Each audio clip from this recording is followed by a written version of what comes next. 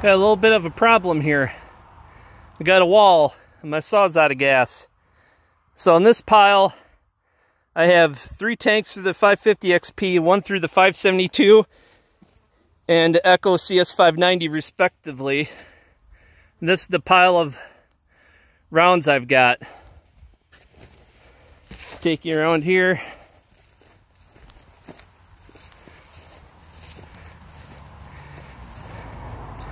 Yeah, so five cords of logs roughly bucked up.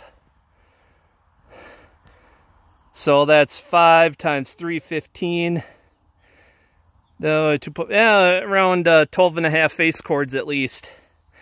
Split and stacked. Won't know till I get that done.